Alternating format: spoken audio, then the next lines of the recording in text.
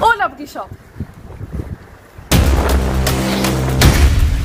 ਇਹ ਤਾਂ ਭਾਬੀ ਲੱਗਦੀ ਹੈ ਕੱਲੀ ਹੋਈ ਤੁਰੀ ਜਾਂਦੀ ਵੀ ਹੈ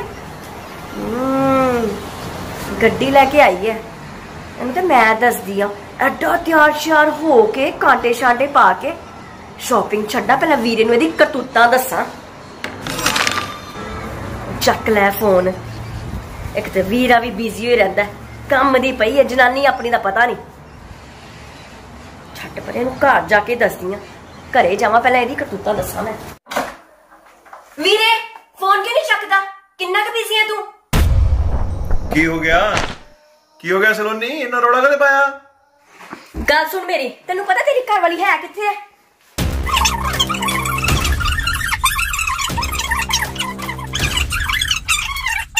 ਆਦੀ ਹੋ ਗਈ ਤੂੰ ਤੇ ਜਾਰੇ ਥੱਲੇ ਲੱਗਾ ਹੋਇਆ।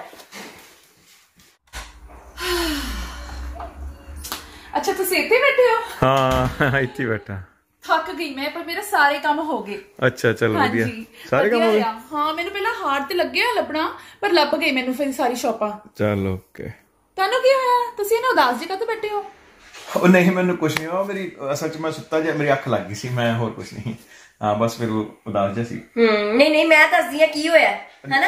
ਆ ਗਏ ਹੋ ਤੁਸੀਂ ਮੈਡਮ ਜੀ? ਸਲੋਨੀ ਇਦਾਂ ਨਾ ਬੋਲ। ਉਹ ਤੂੰ ਰਹਿ ਨਹੀਂ ਦੇ ਨਾਨੀ ਦੇ ਥੱਲੇ ਲੱਗਾ ਹੋਇਆ। ਹੈ। ਸਲੋਨੀ। ਇੱਕ ਮਿੰਟ ਗੱਲ ਕਰ ਲੈ ਮੈਂ ਮੈਂ ਗੱਲ ਕਰਦੀ ਭਾਬੀ ਦੇ। ਹਾਂ ਤੂੰ ਕਰ ਲੈ। ਕਿੱਥੇ ਸੀ ਭਾਬੀ? ਸਲੋਨੀ ਮੈਂ ਕਿੱਥੇ ਸੀਗੀ? ਉਹੀ ਤੇ ਮੈਂ ਪੁੱਛ ਰਹੀ ਆ ਇਹ ਐਨਕਾਂ ਲਾ ਕੇ ਕਾਂਟੇ ਛਾਂਟੇ ਪਾ ਕੇ ਕਿੱਥੇ ਸੀ? ਮੈਂ ਕਿੱਥੇ ਸੀਗਾ? ਕੀ ਮਤਲਬ? ਕੀ ਹੋਇਆ? ਤੂੰ ਇਦਾਂ ਕਦੇ ਪੁੱਛਦੀ ਹੈ ਮੈਨੂੰ? ਅਮਨ ਕੀ ਹੋਇਆ? ਤੁਸੀਂ ਵੀ ਬਹੁਤ ਚੁੱਪ ਚੁੱਪ ਹੋ ਕੋਈ ਗੱਲ ਨਹੀਂ ਤੂੰ ਪਹਿਲਾਂ ਆਪਸ 'ਚ ਗੱਲ ਕਰੋ ਫਿਰ ਮੈਂ ਬੋਲਦਾ। ਉਹ ਉਹਨੇ ਕੀ ਕਹਿਣਾ ਹੈ? ਮੇਰੇ ਨਾਲ ਗੱਲ ਕਰੋ। ਉਹਨੇ ਅੱਜ ਤੱਕ ਤੁਹਾਡੇ ਗਲਤ ਨੂੰ ਕਦੀ ਗਲਤ ਕਿਹਾ ਹੈਗਾ? ਪਹਿਲੀ ਗੱਲ ਤੇ ਹੈ ਪਹਿਲੀ ਗੱਲ ਤੇ ਹੈ ਭਾਬੀ ਤੁਸੀਂ ਇਸ ਘਰ ਦੀ ਨੂੰਹ ਹੋ ਧੀ ਨਹੀਂ। ਜਿੱਥੇ ਮਰਜ਼ੀ ਆਵਾਰਾ ਕਰਦੀਆਂ ਕਰਦੇ ਫਿਰੋ। ਉਹ ਕੱਲੇ ਗੱਡੀ ਲੈ ਕੇ ਕਿੱਥੇ ਨੂੰ ਤੁਰੇ ਫਿਰਦੇ ਹੁੰਦੇ ਹੋ? ਏਡੇ ਏਡੇ ਵੱਡੇ ਕਾਂਟੇ ਪਾ ਕੇ ਤਿਆਰ ਸ਼ਿਆਰ ਹੋ ਕੇ। ਉਹ ਲੋਕਾਂ ਨੇ ਵੇਖਣਾ ਸਾਡੀ ਬਦਨਾਮੀ ਹੋਣੀ ਹੈ ਬਦਨਾਮੀ? ਕਾਂਟੇ ਪਾਇਆ ਗੱਡੀ ਲੈ ਕੇ? ਨੂਆ ਧੀ ਨਹੀਂ। ਆਵਾਰਾ ਕਰਦੀ ਕਰਦੀ ਸੀਗੀ। ਇਹ ਕਿਹੋ ਜਿਹੀ ਗੱਲਾਂ ਕਰੀ ਜਾਂਦੀਆਂ ਤੁਸੀਂ ਲੋਨੀ ਹੋਇਆ ਕੀ ਆ? ਲੈ ਕਿੱਡੀ ਭੋਲੀ ਬੰਦੀ ਆ। ਉਲਟਾ ਚੋਰ ਕੋ ਤਵਾਲ ਕੋ ਡਾਂਟੇ। ਸਵਾਲ ਸਾਨੂੰ ਕਰਨੇ ਚਾਹੀਦੇ ਸਵਾਲ ਤੁਸੀਂ ਕਰੀ ਜਾ ਰਹੇ ਹੋ। ਉਹ ਤੂੰ ਦੱਸ ਜੋਰੂ ਦੇ ਗੁਲਾਮ। Okay okay okay okay. ਮੈਂ ਦੱਸਦਾ ਹੋਇਆ ਕੀ ਆ। ਮੈਡਮ ਨੇ, ਸਲੋਨੀ ਨੇ ਤੈਨੂੰ ਜਦ ਤੂੰ ਕਿਤਾਬਾਂ ਲੈਣ ਗਈ ਸੀ, ਆਪਣੀ ਕਾਲਜ ਦੀ ਐਡਮਿਸ਼ਨ ਲਈ, ਸਲੋਨੀ, ਜਿਹੜੇ ਕਾਲਜ ਦੇ ਵਿੱਚ ਤੂੰ ਪੜ੍ਹ ਕੇ ਪਾਰ ਹੋ ਗਈ, ਤੇ ਤੇਰੀ ਭਾਬੀ ਦੀ ਉਹ ਡਿਗਰੀ ਰਹਿ ਗਈ ਸੀ ਕਿਉਂਕਿ ਇਹਨੇ ਵਿਆਹ ਕਰਾਇਆ ਮੇਰੇ ਨਾਲ, ਤੇ ਮੈਂ ਪ੍ਰੋਮਿਸ ਕੀਤਾ ਸੀ ਵੀ ਤੂੰ ਡਿਗਰੀ ਫਿਨਿਸ਼ ਕਰੇਗੀ। ਜਿਹੜੇ ਕਾਲਜ ਤੋਂ ਤੂੰ ਨਿਕਲੀਆਂ, ਇਹ ਉਸ ਕਾਲਜ ਦੀਆਂ ਕਿਤਾਬਾਂ ਲੈਣ ਗਈ ਸੀ। ਮੇਰੇ ਤੋਂ ਪੁੱਛ ਕੇ ਮੇਰਾ ਸਿਰ ਦੁਖ ਰਿਹਾ ਸੀ। ਮੈਂ ਕਿਹਾ, ਗੱਡੀ ਤੂੰ ਚਲਾ ਲਾ, ਤੂੰ ਚੱਲ ਜਾ। ਤੇ ਸਲੋਨੀ, ਤੂੰ ਕਹਿ ਰਹੀਆਂ ਕਾਂਟੇ ਪਾਏ ਨੇ, ਤਿਆਰ ਹੋ ਕੇ ਗਈ ਆ ਤੇਰੀ ਭਾਬੀ ਬਾਹਰ ਮੇਰੇ ਨਾਲ ਜਦ ਵੀ ਜਾਂਦੀ ਹੈ ਕਦੋਂ ਤਿਆਰ ਹੋ ਕੇ ਨਹੀਂ ਜਾਂਦੀ। ਉਹਨੂੰ ਬਾਹਰ ਤਿਆਰ ਹੋ ਕੇ ਜਾਣ ਦਾ ਸ਼ੌਕ ਹੈ ਹੱਕ ਹੈ ਉਹਦਾ ਰਾਈਟ ਹੈ ਮੈਨੂੰ ਕੋਈ ਪ੍ਰੋਬਲਮ ਨਹੀਂ। ਦੂਜੀ ਗੱਲ, ਤੂੰ ਉਹਨੂੰ ਕਹੀ ਵੀ ਆਵਾਰਾਗਰਦੀ ਕਰਦੀ ਆ ਇਸ ਘਰ ਦੀ ਉਹ ਨੂੰਹ ਹੈ ਧੀ ਨਹੀਂ।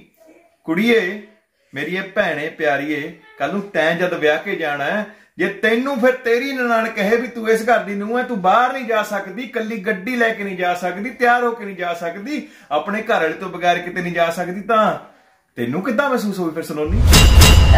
ਮੈਂ ਤਾਂ ਉਹ ਵੀਰੇ ਉਹ ਹੁਣ ਗੱਲ ਨਹੀਂ ਆਉਣਦੀ ਇੱਕ ਸਵਾਲ ਹੋਰ ਮੈਨੂੰ ਇੱਕ ਚੀਜ਼ ਐਂ ਦੱਸ ਵੀ ਤੂੰ ਇਹਨੂੰ ਜਦ ਦੇਖਿਆ ਤਾਂ ਤੂੰ ਕੱਲੀ ਗਈ ਸੀ? ਹਾਂ ਕੱਲੀ ਹੋ ਗਈ ਸੀ। ਨਾਲੇ ਗੱਡੀ ਲੈ ਕੇ ਗਈ ਸੀ ਕੱਲੀ? ਆ ਤੇ ਗੱਡੀ ਤੇ ਹੀ ਜਾਣਾ ਸੀ। ਤੂੰ ਕਿਹੜੀਆਂ ਕਿਤਾਬਾਂ ਲੈਣ ਗਈ ਸੀ? ਉਹ ਨਹੀਂ ਨਹੀਂ ਮੈਂ ਤੇ ਉਹ ਸ਼ਾਪਿੰਗ ਮੈਂ ਤੇ ਸ਼ਾਪਿੰਗ ਲਈ ਗਈ ਸੀ ਵੀਰੇ। ਮੈਂ ਸਮਝ ਗਈ। ਸੌਰੀ ਵੀਰੇ ਮੈਂ ਮੈਂ ਭਾਬੀ ਨੂੰ ਵੀ ਪਤਾ ਨਹੀਂ ਗੁੱਸੇ ਵਿੱਚ ਕੀ ਕੀ ਕਹਿਤਾ। ਮੈਂ ਮੈਂ ਕੁਝ ਜ਼ਿਆਦਾ ਹੀ ਬੋਲ ਗਈ ਤੇ ਮੈਨੂੰ ਇਹਨਾਂ ਫ਼ਰਕ ਨਹੀਂ ਸੀ ਰੱਖਣਾ ਚਾਹੀਦਾ ਭਾਬੀ ਦੇ ਵਿੱਚ ਤੇ ਮੇਰੇ ਵਿੱਚ। ਮੈਨੂੰ ਮਾਫ ਕਰ ਦੇ।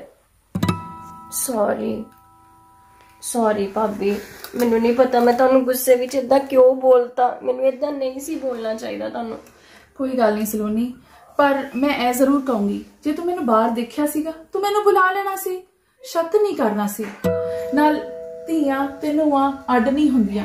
ਜੇ ਇਹ ਗੱਲ ਅਸੀਂ ਨਹੀਂ ਸਮਝਾਂਗੇ, ਅਸੀਂ ਨਹੀਂ ਸ਼ੁਰੂਆਤ ਕਰਾਂਗੇ, ਤੇ ਉਹੀ ਪੁਰਾਣੀ ਚੀਜ਼ਾਂ ਜਿਹੜੀਆਂ ਇੰਨੇ ਯੁੱਗਾਂ ਤੋਂ ਆ ਰਹੀਆਂ ਨਾ, ਉਹ ਜਿਹੜਾ ਗੈਪ ਹੈ ਨਾ, ਉਹ ਜਿਹੜਾ ਡਿਫਰੈਂਸ ਆ, ਉਹ ਕਦੇ ਵੀ ਨਹੀਂ, ਕਦੇ ਵੀ ਨਹੀਂ ਸੋਚਣਾ।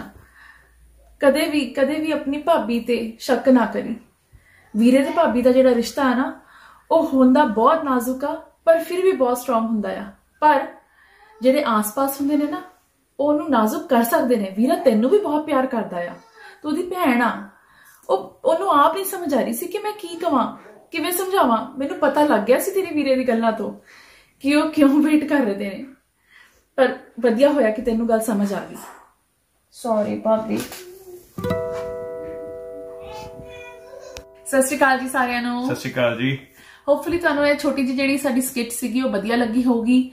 ਇਸ ਸਕਿੱਟ ਦੇ ਵਿੱਚ ਅਸੀਂ ਜ਼ਿਆਦਾ ਨਹੀਂ ਕੁਝ ਕਹਿਣਾ ਚਾਹੁੰਦੇ, ਪਰ ਇਹਦੇ ਵਿੱਚ ਅਸੀਂ ਜ਼ਰੂਰ ਇਹ ਤੁਹਾਡੇ ਤੋਂ ਸੁਣਨਾ ਚਾਹੁੰਦੇ ਹਾਂ ਕਿ ਜਿਵੇਂ ਇਸ ਸਕਿੱਟ ਦੇ ਵਿੱਚ ਅਸੀਂ ਡਿਫਰੈਂਸ ਦਿਖਾਇਆ, ਇੱਕ ਨੂੰਹ ਦਾ ਤੇ ਇੱਕ ਧੀ ਦਾ, ਜਦ ਘਰ ਦੇ ਰੂਲਸ ਦੀ ਗੱਲ ਹੁੰਦੀ ਆ, ਕਿ ਕਦੇ ਤੁਹਾਡੇ ਅਗੇਂਸਟ ਵੀ ਕਿਤੇ ਇੱਥੇ ਦੇ ਇਦਾਂ ਰੂਲਸ ਚੇਂਜ ਹੁੰਦੇ ਹੋਏ ਤੁਸੀਂ ਦੇਖੇ ਨੇ? ਪਲੀਜ਼ ਕਮੈਂਟਸ ਦੇ ਵਿੱਚ ਜ਼ਰੂਰ ਦੱਸਿਓ, ਜਿੱਥੇ ਤੁਹਾਨੂੰ ਲੱਗਦਾ ਹੈ ਕਿ ਨੂੰਹਾਂ ਨਾਲ ਅਲੱਗ ਵਰਤ ਹੁੰਦਾ ਆ ਤੇ ਕੁੜੀਆਂ ਨਾਲ ਅਲੱਗ ਤਰ੍ਹਾਂ ਦੇ ਰੂਲਸ ਹੁੰਦੇ ਨੇ, ਤੇ ਇਹ ਹੋਣੇ ਚਾਹੀਦੇ ਕਿ ਨਹੀਂ ਹੋਣੇ ਚਾਹੀਦੇ?